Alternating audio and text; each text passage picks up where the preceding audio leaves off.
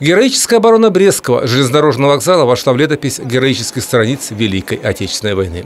Тогда, 80 лет назад, в первые дни войны, его защитники под руководством начальника линейного отделения милиции Андрея Воробьева почти на сутки задержали продвижение немецких железнодорожных составов. А 22 года назад Григорий Борисюк, который тогда возглавлял Брестский отдел на транспорте, предложил провести накануне дня начала войны турнир по мини-футболу, чтобы напомнить о подвиге защитников.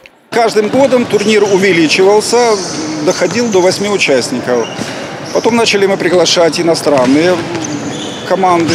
С 2007 года турнир получил статус международного с неизменным участием команды из России. Но эпидситуация внесла свои коррективы. В прошлом году турнира не было. Не приехали россияне и на этот раз. Но статус международного остался. Приехали гости из Казахстана. Настроение супер. Мы уже не впервые здесь. Позапрошлом году были, заняли четвертое место. Организация все супер. Надеемся, руководство э, как бы э, пригласило уже вашу команду, сборную МВД. На следующий год у нас также будет проводиться такой же турнир. И надеюсь, вы приедете, ваша команда.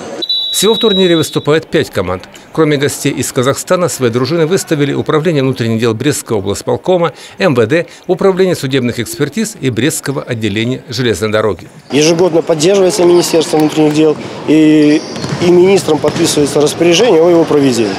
Министерство внутренних дел участвует в этом мероприятии ежегодно. Э, команду формируем из сотрудников Минского гарнизона.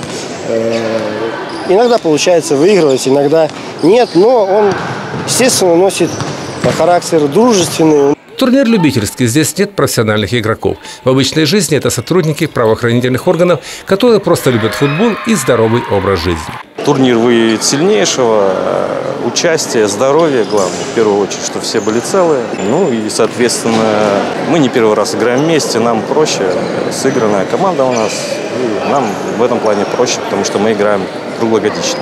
Победит сильнейший. После финальных игр за третье и первое место 22 июня будет выявлен и победитель. Юрий Печер, Владимир Казаков, телерадиокомпания «Брест».